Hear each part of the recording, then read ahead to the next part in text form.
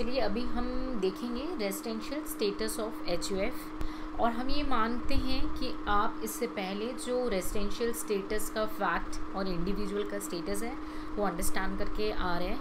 तो अब हम शिफ्ट हो रहे हैं residential of the status of the H U F को क्या कहते हैं? फुल फॉर्म में हिंदू अनडिवाइडेड फैमिली इनके केवल दो ही कैटेगरीज होती है। एक होती है रेसिडेंट और दूसरी होगी नॉन रेसिडेंट ठीक है?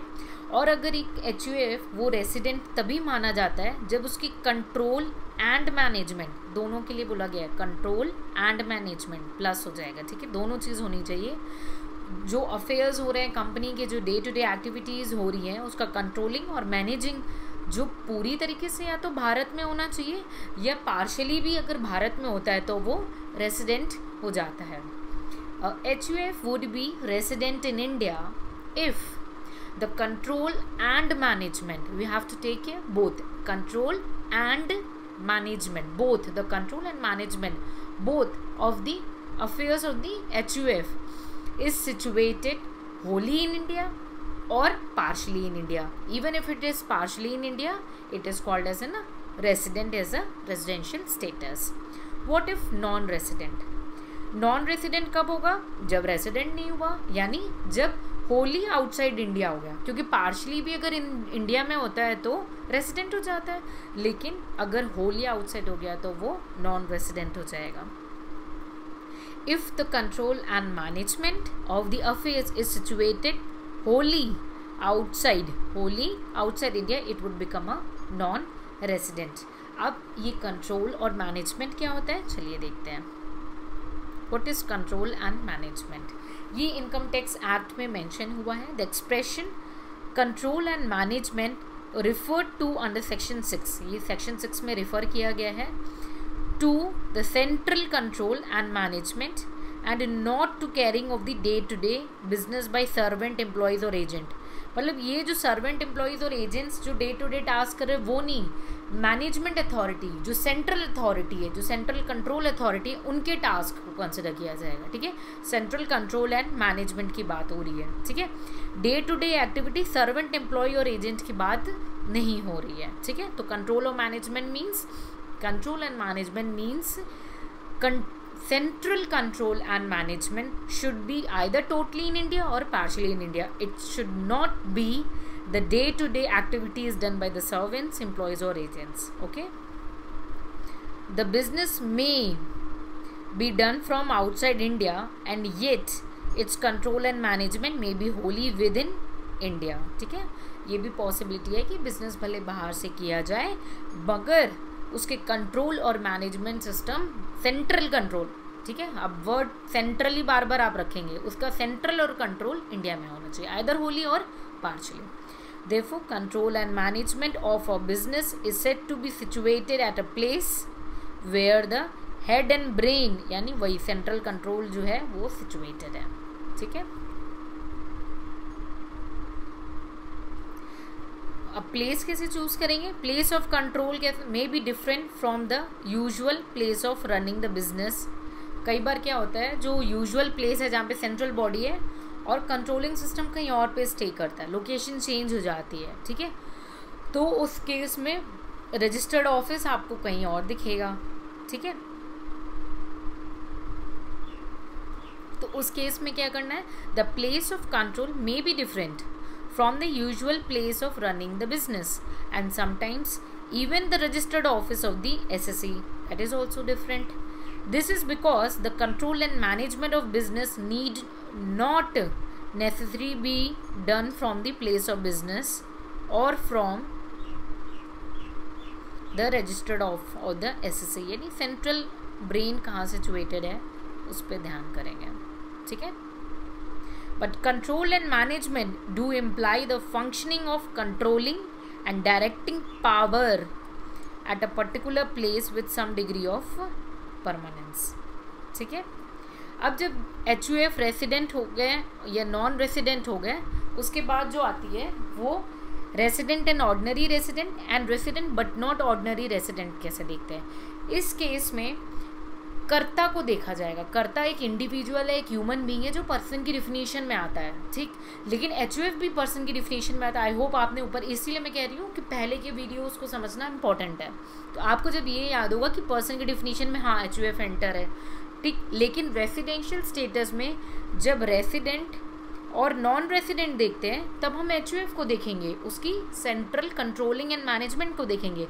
बट जब हम ये चेक करेंगे कि रेसिडेंट एंड ऑर्डनरी रेसिडेंट है कि resident but not ordinary resident है, तब उस केस में हम कर्ता जी को देखते हैं, जो कर्ता धरता है, उस बेसिस पे हम डिसाइड करते हैं।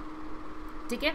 So if the karta of resident if the karta of a resident resident क्योंकि रेसिडेंट एच हुआ तभी वो कहलाएगा ऑर्डनरी और नॉट ऑर्डनरी जब नॉन रेसिडेंट हो गया, तब तो ये सवाल ही नहीं आता। है बहुत ही बेसिक सा बात है। सी ए फाइनल के एम में आ गया था। ठीक है? तो जब रेसिडेंट है, तभी हम चेक करेंगे कि रेसिडेंट ऑर्डनरी रेसिडेंट है या रेसिडेंट नॉट ऑर्डनरी रेसिडेंट है, ठीक है? So karta of resident HUF अगर सेटिस्फाई करता है, दोनों condition both the following additional conditions as applicable in the case of individual then resident HUF will be resident and ordinary resident otherwise it will be resident but not ordinary resident अगर ये both satisfied होंगी तो resident ordinary resident होगा। अगर नहीं होती हैं, यानी एक भी नहीं होती या दोनों नहीं होती तो रेसिडेंट नॉट ऑर्डनरी रेसिडेंट होगा। चलिए देखते हैं। एडिशनल कंडीशन क्या है? आई होप आप रिकॉल कर लेंगे फटाफट कि आपने इंडिविजुअल के लेक्चर में क्या पढ़ा था, ठीक है? Karta of resident H karta of H U F should be resident in at least at least कम से कम दो साल। दो साल तो रहना ही है, उसके बाद तीन रह लो, चार रह लो, पाँच रह लो, जितना भी रह लो। At least two previous year out of ten previous year ठीक? जो आखिरी के दस साल में से कम से कम दो साल रहने फिर दो साल से ज़्यादा भी रह सकते हो। तो यानी क्या हुआ? इक्वल टू और प्लस टू ईयर्स आपको रहना ही रहना है। किसको? आपको किसको? कर्ता को, ठीक है? Immediately preceding relevant previous year यानी कि सपोज़ करो प्रीवियस ईयर 2019 चल रहा है ठीक? इमीडिएटली प्रीसीडिंग प्रीवियस ईयर कौन सा था इसका? 2018 इसके 10 साल का कल, कैलेंडर में कम से कम दो साल रहना है यानी इक्वल टू और मोर देन टू ईयर्स आपको रहना ही रहना है ठीक है? सेकेंड कंडीशन क्या है? आई होप आपको फ़र्स्ट क्लियर हो गई हो ठीक है? सेकेंड कंडीशन क्या है? स्टे ऑफ़ करता। During seven previous year previous year की बात हुई है। जो कर्ता का स्टे है, पिछले सात सालों में इमीडिएटली प्रिसीडिंग देखो यहाँ पे भी प्रिसीडिंग हुआ है, वही, ठीक है immediately preceding the relevant previous year relevant previous year क्या हुआ? 2019 उसका प्रिसीडिंग 2018 शुड बी 730 डेज़ और मोर यानी कि जो करता है, वो अपने देश में कम से कम immediately preceding relevant previous year के सेवन ईयर के ब्लॉक्स में 730 दिन या उससे ज़्यादा भारत में रह रहा हो।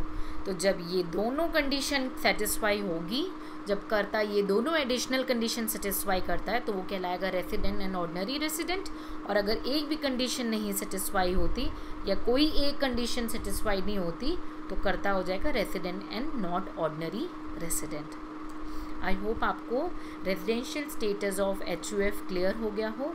किसी भी स्टूडेंट को ये सुनने के बाद डाउट होता है तो आप प्लीज़ पूछेंगे। और रिक्वेस्ट है एक मेरी कि आप जब इस वीडियो को देखेंगे तो आपने जैसे वीडियो को देख ले तो आप आउटकम सोचेंगे कि आपने HUF में क्या क्या चीज़ें जानी, कि एक रेसिडेंट क्या होता है, फिर नॉन रेसिडेंट क्या होता है, फिर कंट्रोल और मैनेजमेंट का एक्चुअल मीनिंग क्या है, फिर उसके बाद resident and ordinary resident and resident and ordinary resident और दो एडिशनल कंडीशंस क्या आती हैं, ठीक है? अगर एस्पिरेंट्स को ये चीज़ में कोई भी क्लैरिफिकेशन में डाउट है, वो पूछेंगे। और कम से कम दो बार इस वीडियो को देखना है ठीक है, एक बार तो बिल्कुल ध्यान से देखना है और दूसरी बार एक बार क्विक रिवीजन के लिए देखना है। ये within twenty four hours में होना चाहिए। जो फ़र्स्ट कवरेज है और फ़र्स्ट रिवीजन ये चौबीस घंटे के अंदर अंदर हो जाना चाहिए। इससे आपको ये क्लियर हो जाएगा कि कॉन्सेप्ट आपके दिमाग में सेट हुआ है कि नहीं। अब कॉन्सेप्ट सेट सेट करने के बाद जो स्टूडेंट मेमोराइजेशन के लिए ऑप्ट किए हैं फिर उनको हम नेक्स्ट स्टेप पे जाते हैं ऑडियो पीडिया सेंड करके उनको मेमोराइजेशन में बार बार रिमाइंड कराते हैं कि आज आपकी डेट आ गई है और इस डेट को आपने कवर किया था now you have to revise ठीक? सो उसमें हम बार बार आपको रिवाइज कराते हैं, ठीक है? और उसके बाद जब रिवीजन हो जाता है तो हम टेस्ट लेंगे टेस्ट में ये चेक करेंगे कि आपको कॉन्सेप्ट स्टोर हो गया है क्लियर हुआ है या नहीं, ठीक है? I hope the residential status of huf is clear in case of any doubt, feel free to ask us. Stay connected for the next topic